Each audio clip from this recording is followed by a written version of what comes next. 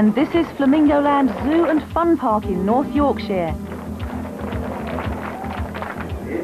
As former world water ski racing champion, I'm interested in all things aquatic. But being mad about animals, I was about to be offered a once-in-a-lifetime opportunity to get close to dolphins.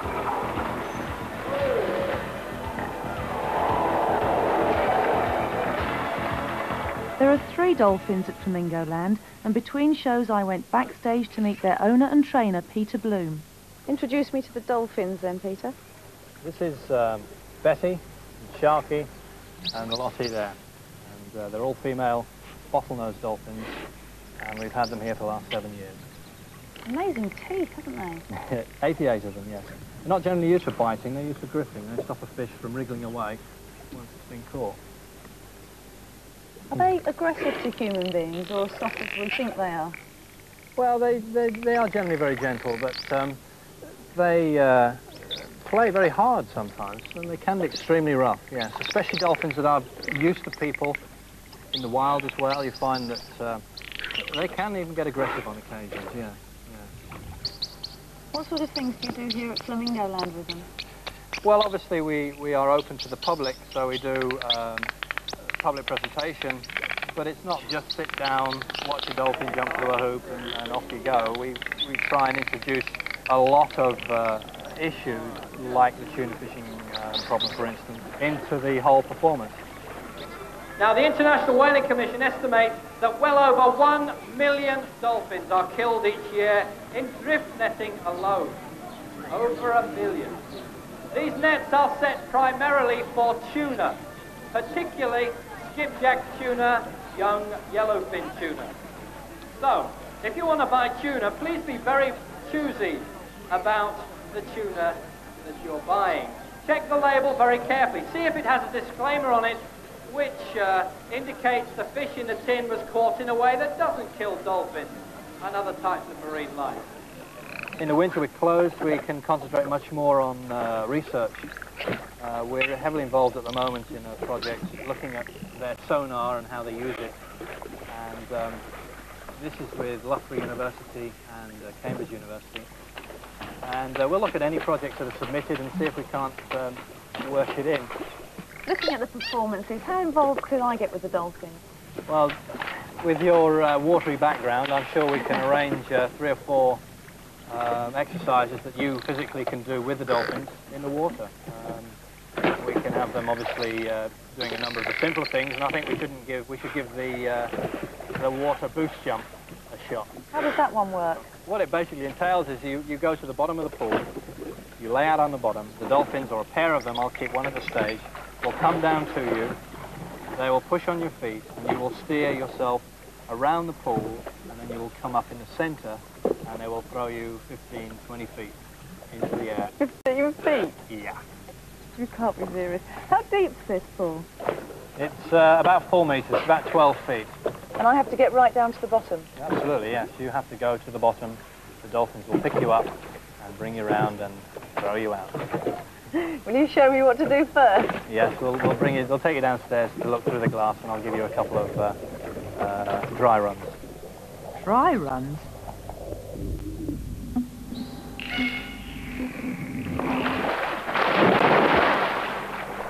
As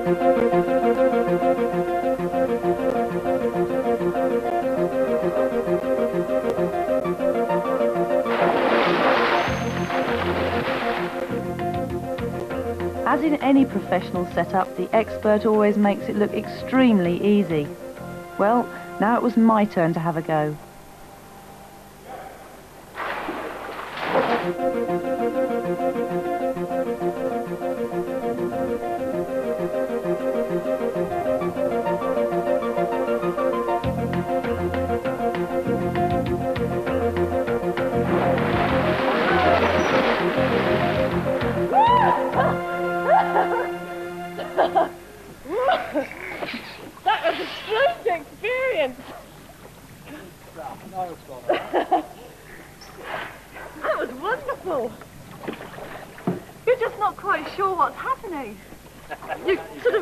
Down there and you think, where are they? And all of a sudden you just feel this little tap on your foot and that was...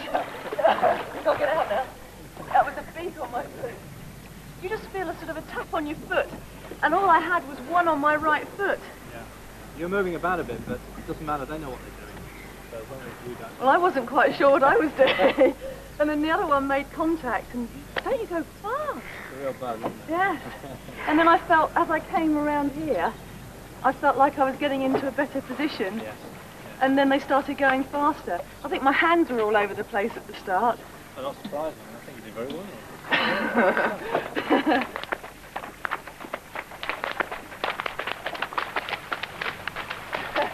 But they thought it was good too. Peter felt that the time was now right for a public performance, so stay tuned to find out how I got on. Back at Flamingo Land, a capacity crowd of 1,200 people had gathered to witness what might turn out to be the most embarrassing aquatic performance of my life. As I watched the show from the wings, I'd begun to lose my nerve. I can honestly say I haven't felt this much adrenaline flowing since I was competing. My stomach is going over and over and over. I feel like my heart's in my throat. I don't quite know where it's going to be when I get underwater. And we will have a bit of fun now with somebody in the water. Now this person came here today for the first time and she went in the water with the dolphins for the first time and she's going to try something that is extremely difficult. Now this lady is called Liz Hobbs. She is the fastest woman ever on water skis. So please give her a big hand. She's coming out here to get her feet wet.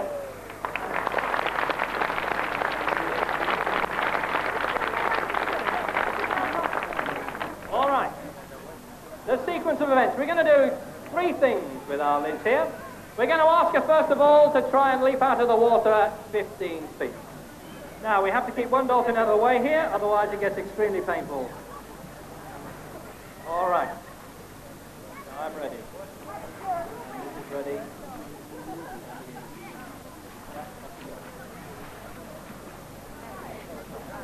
All right. She goes to the bottom, the dolphins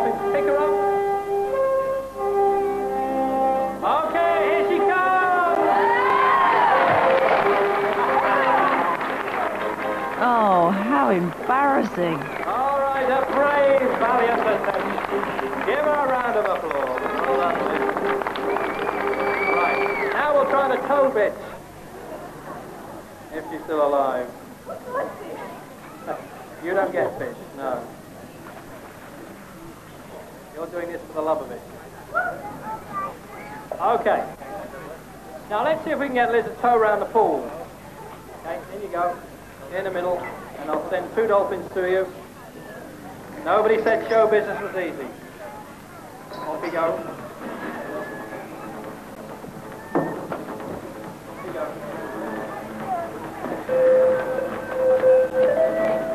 Okay, this is working. All right, here she comes. Well, at least something worked.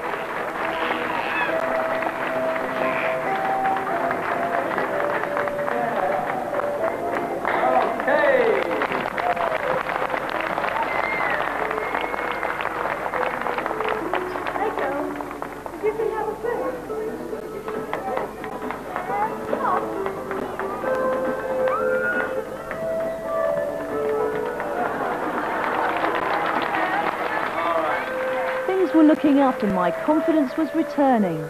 How's this for high jump? Smile.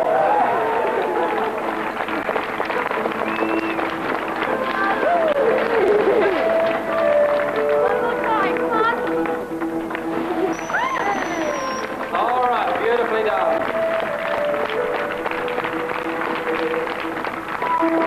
Shall we give the boost one more try for this, shall we? Oh, yes, I think so. We'll go for Brum. One more effort. Oh well, here goes.